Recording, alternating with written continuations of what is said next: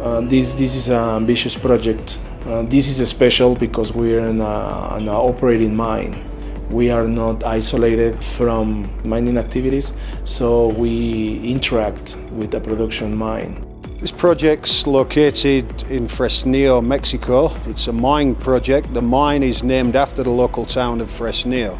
We're in the process of boring over 12 kilometres of tunnels here. The tunnels will be used for haulage drifts to and from the ore body. The main product of the mine is silver, but significant amounts of gold are also produced.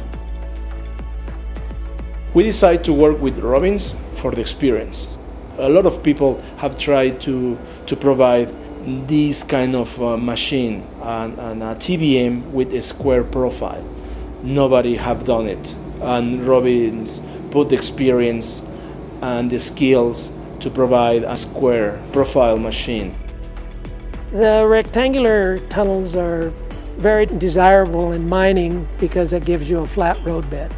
If you do a circular tunnel, you have to come back in and either pour a roadbed or cut out the invert to make a flat roadbed.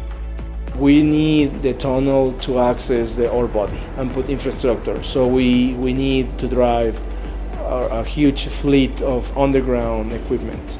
In order to be economical, we don't need to replace that bottom part of a circular tunnel. On this project, the machine is being used to bore haulage drifts from an existing mine development network, but the machine could also be used to develop main roadways directly from the surface or from the bottom of shafts.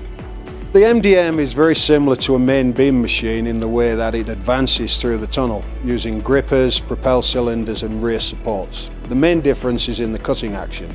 The cutter head swings up and down in a vertical direction and the cutter head is pushed into the rock using extension cylinders rather than propel cylinders.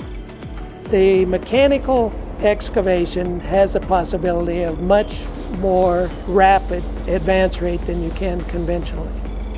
Conventional mining is drill and blast and it goes through cycles and the mechanical mining cuts the rock, pulls the rock back from the face and dumps it into a transport system to get it out of the mine.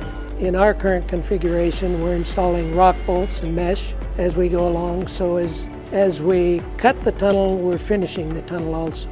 Mechanical excavation causes minimal damage to the surrounding rock mass, therefore requires far less ground support than tunnels driven by drill and blast methodology.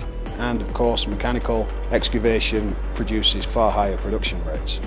It's a revolutionary machine that will remove the use of drill and blast, making the excavation of the tunnel faster and safer.